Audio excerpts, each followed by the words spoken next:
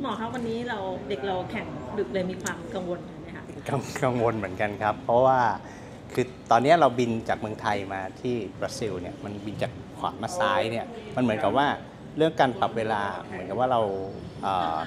เราจะง่วงหัวค่ำขึ้น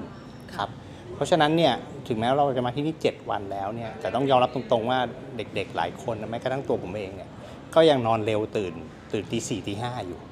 นะครับก็มีปัญหาเรื่องเวลานี่เรากลัวว่าวันนี้แข่งดึกสามทุ่มปกติสามทุ่มเนี่ยสองทุ่มกว่าทุกคนก็จะง่วงแบบง่วงแบบฝืนไม่ไหวอะครับ อันนี้ก็เป็นประเด็นหนึ่งที่กังวลอยู่แต่ว่าเดี๋ยวเดี๋ยวอาจจะมีวิธีหาวิธีการที่จะ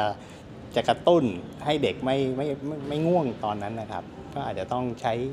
กาแฟใช้อะไรช่วยอย่างเงี้ยครับครับก็เป็นคงเป็นวิธีเดียวที่จะจะทำได้ เพราะว่าปกติการปรับเวลามันต้อง มันต้องอาศัยเรื่องของการการทำกิจกรรมให้เหมือนกับเวลาที่พื้นที่ ซึ่งเราก็ทำมาหลายวันแล้วล่ะ แต่มันก็ยังยังยังไม่ยังปรับได้ไม่ค่อยดีนักครับ ยังมีอาการหลงเหลืออยู่ครับ